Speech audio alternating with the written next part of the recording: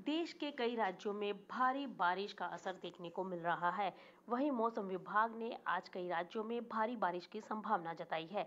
इसके लिए रेड और ऑरेंज अलर्ट जारी किए गए हैं।